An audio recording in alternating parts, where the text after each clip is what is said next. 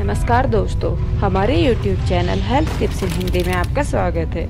आज हम आपको बताएँगे नवजात बच्चे की साफ़ सफ़ाई तथा उसे नहलाते समय बरती जाने वाली कुछ सावधानियों के बारे में। दोस्तों साफ़ सुथरे बच्चे किसे पसंद नहीं? अक्सर नवजात बच्चों को साफ़ करना मुश्किल काम हो जाता है। एक तो वे नाजुक इतने होते हैं, ऊपर से बार बार नैपी में ही सुसु करने से कई बार उनके पास नमी ज़्यादा हो जाती है, जिससे एक अजीब तरह की गंध पैदा होती है। ऐसे में माता पिता अपने नवजात को नहलाकर उसकी साफ़ सफ़ाई का ध्यान रखते हैं।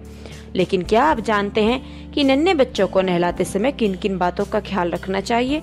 माना कि शिशु बहुत जल्दी गंदे हो जाते हैं। लेकिन कई बार सही तरीके से या सावधानियाँ न बरत कर उन्हें नहलाने पर यह और भी बुरा साबित हो सकता है। तो दोस्तों, चलिए डालते हैं एक नज़र उन बातों पर जो एक नन्हे शिशु को नहलाते हुए आपको ध्यान रखनी चाहिए। नंबर एक स्टम्प से छेड़छाड़ ना करें।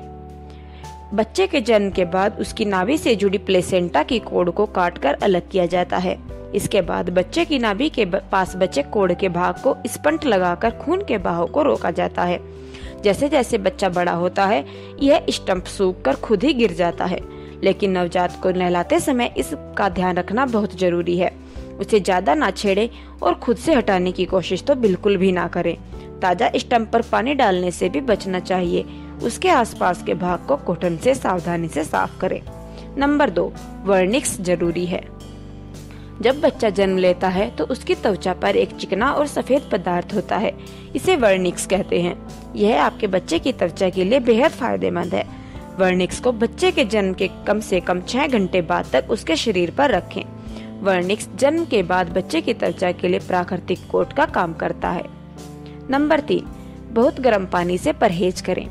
क्योंकि नवजात बच्चे की त्वचा बहुत सेंसिटिव होती है, इसलिए उसे बहुत गर्म पानी से ना नहलाएँ। इससे बच्चे की त्वचा पर रैशेस हो सकते हैं। बच्चे को नहलाने से पहले पानी को अपने हाथ पर डालकर देख ले कि वह ज़्यादा गर्म तो नहीं है। इसके बाद ही बच्चे को नहलाएँ। नंबर चार, प्रोडक्ट का सही इस्तेमाल। हर माता पिता चाहते हैं कि उनका बच्चा अच्छा दिखे। इसलिए कई बार वे शिशु उत्पादों का अधिक इस्तेमाल भी कर लेते हैं, लेकिन इस आदत से बचने की ज़रूरत है। हालाँकि कुछ चीज़ों का इस्तेमाल तो ज़रूरी होता है, लेकिन कई चीज़ें हम बस यूँ ही ले लेते हैं। बच्चे की त्वचा बहुत कोमल होती है, जिस पर अधिक उत्पादों का इस्तेमाल करने से उसे नुकसान पहुँच सकता है। नंबर पाँच बार बार नहलाना।